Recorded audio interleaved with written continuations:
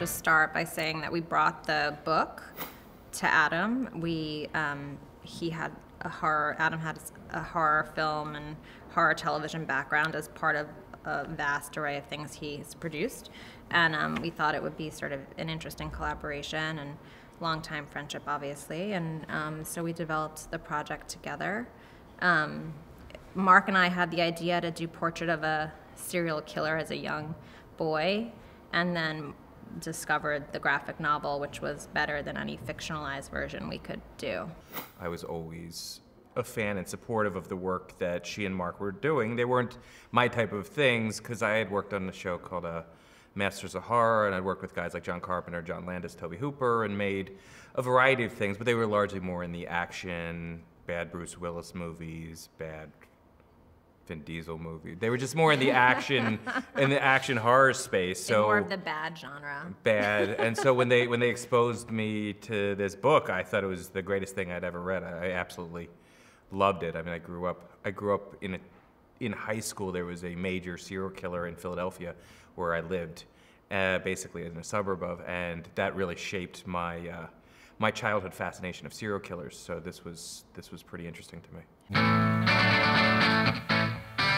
Jeffrey Dahmer is infamous in the States, and we were both, I think, just entering high school, Yeah. probably around the time that he was arrested. So it was definitely on the news and in the, you know, general sort of cultural like You couldn't, I mean, you couldn't get away from him. right. You know, he was he was tabloid news before tabloid news really was a thing. You know, That that said, I didn't have any sort of like interest in him in any sort of meaningful way before we sort of discovered this graphic novel. nor had I even read much about him in the last 20 years. It wasn't something. I mean, it was a name more than anything else. It's Right. a boogeyman. The development of a of a child into this man, and that's interesting to me. Um, and it's a it's a character study of a fascinating figure, and so from that perspective, I found it to be a unique story to tell. In Hollywood, you're always saying it's Die Hard on a boat, or it's this movie meets that movie.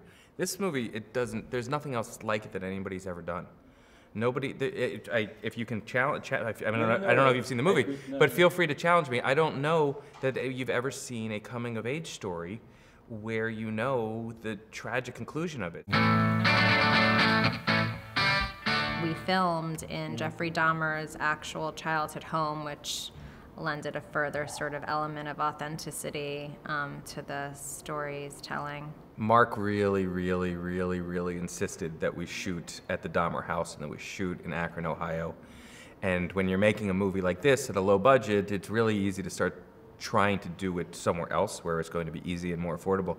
And I think it was that decision to do it in Akron and to shoot in Ohio that was the key to the authenticity and the, uh, a lot of the success of the film. Shooting a movie like this in Ohio, and I was really strangely uh, surprised in a positive way how supportive the community was. I thought we were going to have real trouble.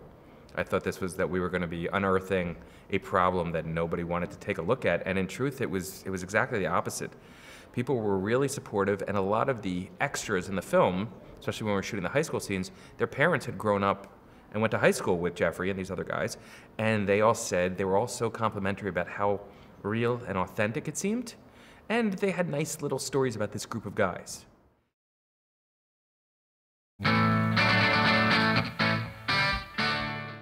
Well, we are doing a sequel where he gets superpowers.